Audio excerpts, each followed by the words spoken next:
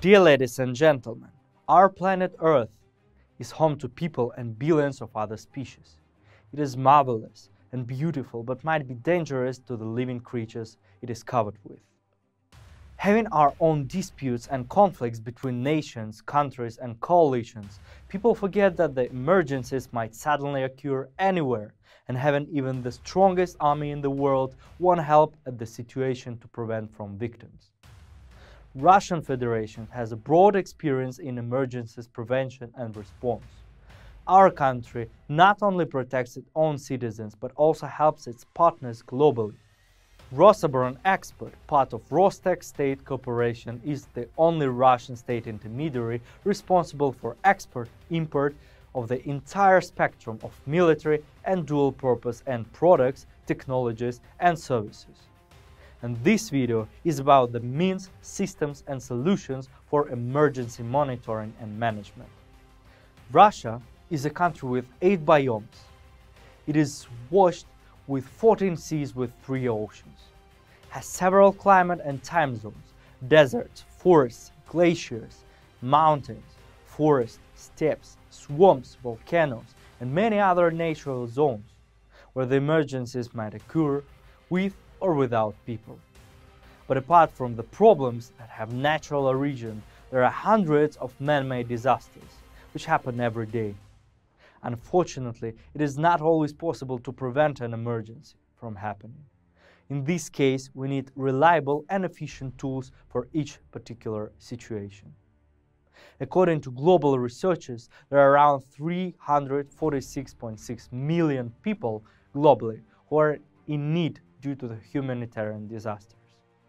Earthquakes, open fires, landslides, epidemics, storms, traffic accidents, and many other reasons lead to human deaths and ecological catastrophes. Russian manufacturers came up with a wide range of tools to solve those problems on a local or national level. On behalf of firefighting, Rosoboronexport is ready to supply different types of vehicles such as wheeled firefighting tank trucks and trailers of light, medium and heavy classes. Today, a fire truck is a high-tech hub that has everything necessary not only for fighting fires, but also naturals and man-made disasters.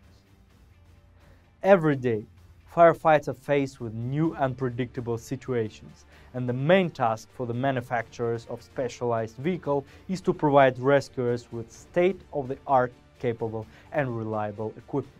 Russian-made fire trucks are developed according to both native and foreign requirements of fire departments covering its particular task with maximum efficiency, proving its reliability on practice. These are fire tankers from 1 to 15 cubic meters, fire pumping stations, post pumping stations, fast response vehicles, emergency rescue vehicles, foam and firefight combined vehicles, airport combined firefighting vehicles, as well as firefighting tankers for high-rise fire. The trucks have increased cross-country ability, fire-resistant frame and convenient cabins for the crew. Each vehicle has an adaptive configuration enabling to deliver all possible firefighting and rescue equipment. Russian firefighting vehicles have saved thousands of people and prevented billions of dollars in financial losses. Apart from the trucks, Russian Ministry of Emergency Management also uses aircraft for firefighting and evacuation of injured citizens. Those are K-33 multipurpose helicopters, for example.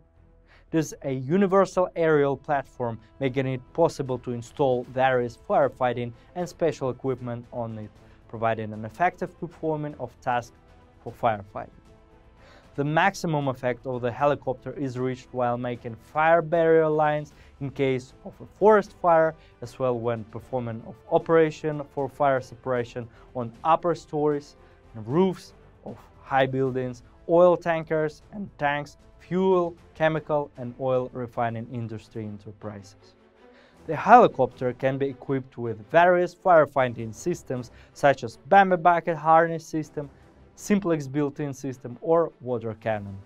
Another example is Russian well-known Mi-17 multi-purpose helicopter. Being provided with special equipment in firefighting modification, It is intended for fighting fire using water in remote areas or terrain hard to reach for other means, residential areas as well as for delivery of firefighting equipment and fire crews of up to 20 people. Firefighting is not the only role for the helicopters. Apart from that, they are used as an evacuation unit in hard-to-reach areas during any type of emergency. Russia has plenty of areas that are heavily passed with usual transport. Moreover, the emergencies may generate such conditions. For this reason, there is a several manufacturer that came up with the vehicles that may succeed in those operations for evacuation of the refugees or for the transportation of first aid products. One of the examples is DT-10 Vityaz. It is a two-link tracked off-road vehicle with a load carrying capacity of 10 tons designed for transportation in adverse climatic conditions on low load bearing capacity soil. For example, marsh, snow virgin soil, cross country, rough wooded country. At an environment temperature of minus 50 to plus 40 degrees Celsius.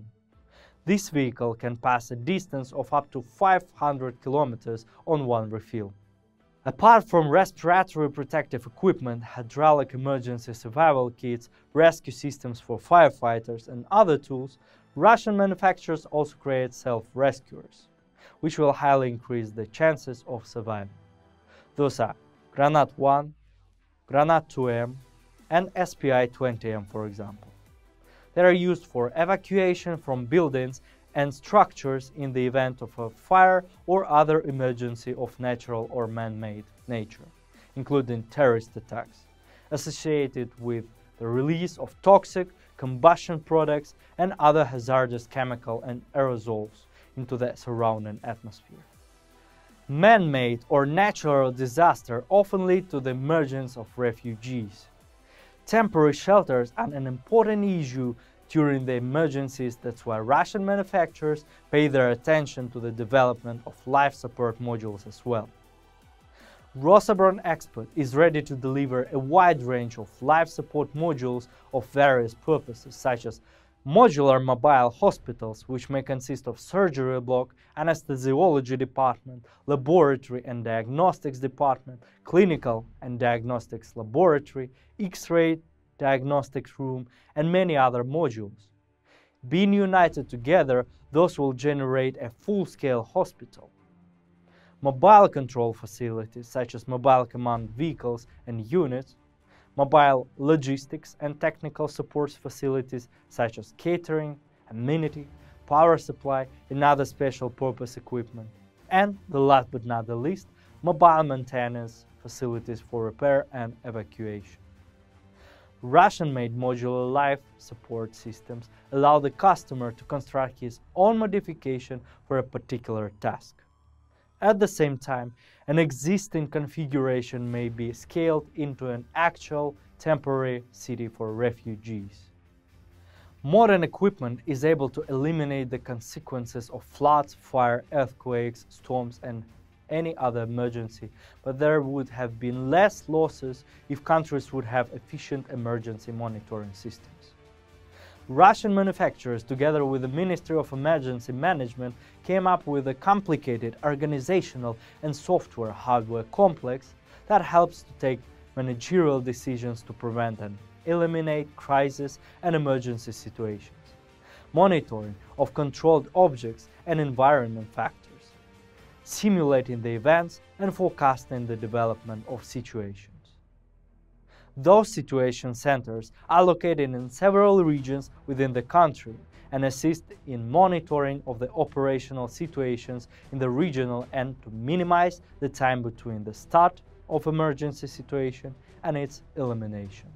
One of the examples is the 112 system which is actively implemented in Russia and has highly increased the efficiency of emergency prevention and suppression.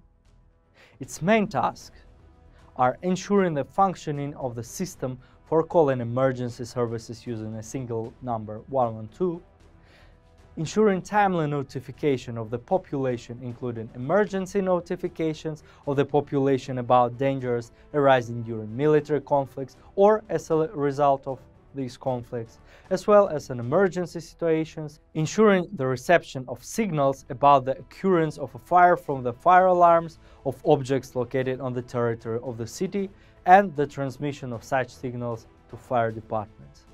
In order to decrease the losses during the arrival time of the specialists, Russian manufacturers have developed and introduced into operation robotic firefighting systems. Each robotic system is equipped with an automatic aiming system based on the thermal and digital cameras. The remote control of robotic systems is being installed in separate space and enabled to manage the whole system. The control unit consists of graphical image of the object scheme, full functionality of control system, self-diagnostics, logging and achievement of the event and video service. Russian situational centers, together with automated complexes of monitoring, warning, and fighting with emergencies, ensure a 25 reduction of response time, a 20% reduction of expenses on dispatching services, preservation of previously made investments by integrating existing security systems into common environment, reduction of the number of personnel while increasing efficiency in 3 to 4 times. These benefits cover a wide range of strategic tasks such as automatic management of workflow parameters at especially important, potentially hazardous and high-risk sites, identifying, giving alarm and registering emergency at situation sites, remote control of manufacturing equipment, registration and automatic achieve to database of controlled parameters, events, and operator actions monitoring of resources located to organize reaction in case of emergency situations. Dear ladies and gentlemen, emergencies may happen anywhere. It's always better to be prepared for them with modern equipment, efficient warning systems and professionals who know how to implement it. Rosoboronexport is ready to supply its customers with modern means, systems and solutions for emergency monitoring and management.